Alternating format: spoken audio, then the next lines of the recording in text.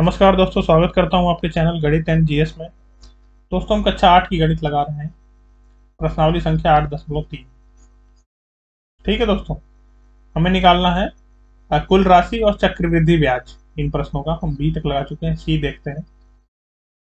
सी है दोस्तों, बासठ हज़ार पाँच सौ रुपये डेढ़ वर्ष के लिए। यहाँ इंपॉर्टेंट है दोस्तों, आठ परसेंट वार्षिक दर से। कितना दिया? आठ परसेंट वार्षिक दर। ये आर दिया है। ये टी दिया है और ये पी दिया है। फॉर्मूला आप जानते हैं? ए बराबर पी एक प्लस आर बटे सौ की पावर टी ठीक है दोस्तों? वार्षिक दर से दिया हुआ है। फिर कह रहा है, वार्षिक दर से अर्धवार्षिक रूप से संयोजित करने पर। अर्धवार्षिक अगर इसको संयोजित करेंगे, दोस्तों अगर आठ परसेंट आठ परसेंट वार्षिक है तो अर्धवार्षिक कितना हो जाएगा ये? चार परसेंट। समझ गए दोस्तों? और ये डेढ़ वर्ष है। डेढ़ वर्ष यानी अर्धवार्षिक। कितनी अर्धवार्षिक है इसमें? कितने छह महीने आएँगे दोस्तों? एक साल में दो छह महीने और एक ये आधा।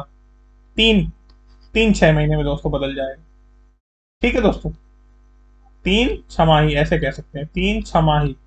इसको तीन छमाही और ये चार परसेंट प्रति प्रति छमाही।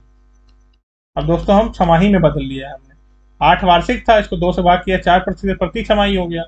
ये डेढ़ वर्ष था टोटल इसमें कितनी छमाही है डेढ़ वर्ष में दोस्तों? छह महीना, फिर छह महीना साल, फिर छह महीना और तो तीन छह महीने हैं दोस्तों। और दोस्तों, यहाँ पे ये हमें, ये तो पी दिया ये आइए देखते हैं, इसमें लगा के देखते हैं। ये दोस्तों बासठ हज़ार पाँच सौ है। ये एक प्लस आर है दोस्तों आपका चार चार बटे सौ। और इसकी घात है तीन। हम लेकिन दो, दोस्तों इसको छमाही में बदल लिया।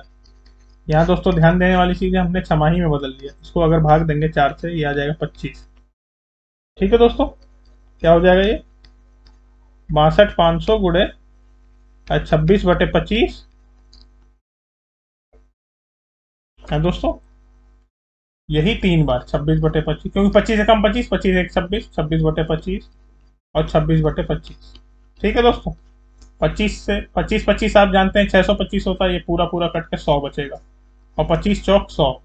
दोस्तों, अगर आप इसको कैलकुलेट कर लें छब्बीस गुड़े छब्बीस गुड़े छब्बीस गुड़े चार। छब्बीस का चार से गुड़ा करेंगे दोस्तों, क्या आएगा? जी हाँ एक सौ चार। एक सौ चार आएगा दोस्तों, ठीक है? और छब्बीस का छब्बीस से गुड़ा करेंगे तो क्या आएगा? कर लेते हैं दोस्तों, ऐसे कर लेते हैं। पच्चीस प्लस एक का स्क्वायर पच्चीस प्लस एक का वर्ग ऐसे लिख देते हैं दोस्तों, और इसको ए प्लस बी का होल स्क्वायर में तोड़ लेते हैं। पच्चीस का स्क्वायर प्लस एक का स्क्वायर प्लस दो गुड़े एक गुड़े पच्चीस। कितना आ गया दोस्तों? पच्चीस पच्चीस दूना पचास, पच्चीस का हम जान ही रहे हैं छः सौ पच्चीस। अभी हमने देखा पच्चीस पच्चीस छः सौ पच्चीस काटा है। और ये एक और ये पचास। कितना हो गया दोस्तों? छः सौ छिहत्तर। छह सौ छिहत्तर का हमें गुड़ा करना है एक सौ चार से। ठीक है दोस्तों? एक सौ चार से गुड़ा कर दीजिए, हमारा आ जाएगा कुल राशि। कुल राशि आ जाएगी दोस्तों, ऐसे करेंगे तो आप। कर दीजिए। छह चौक चौबीस के चार, दो हासिल लगा। सात चौक अट्ठाईस और दो तीस के ज़ीरो, तीन हासिल लगा। छह चौक चौबीस चौबीस और तीन सत्ताईस, कटकुट ज़ीरो ज़ीरो ज़ीरो, कटकुट कटकुट छः सात छः ठीक है दोस्तों? चार ज़ीरो सात छः तेरह के तीन एक हासिल लगा, ज़ीरो सात।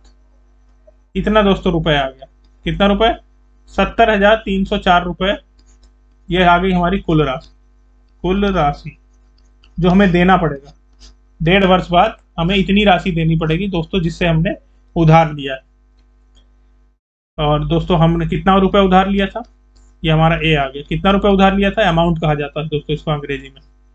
और हमने कितना रुपए उधार लिया था? बासठ हज़ार पाँच सौ रुपये है ना? तो दोस्तों, हमारा चक्रवृद्धि ब्याज कितना हो गया? इसमें से इसको घटा दें दोस्तों। इसमें से इसको घटा दें। सत्तर हज़ार में से दोस्तों साठ हज़ार जाएगा तो दोस्तों दस हज़ार बचेगा। दस हज़ार बचेगा ना? सत्तर में से साठ घटा दिए तो दस बचा। और ढाई हज़ार और जाएगा दस में से तो साढ़े सात हज़ार। क्या गया दोस्तों? साढ़े सात हज़ार प्लस ये जो तीन सौ चार। कितना आ गया? अठहत्तर सौ चार। अठहत्तर सौ चार रुपये दोस्तों, ये आ गया। ये आ गया हमारा कंपाउंड और ये आ गई कुल राशि। ठीक है, दोस्तों, आशा करते हैं आपको मज़ा आया होगा। धन्यवाद।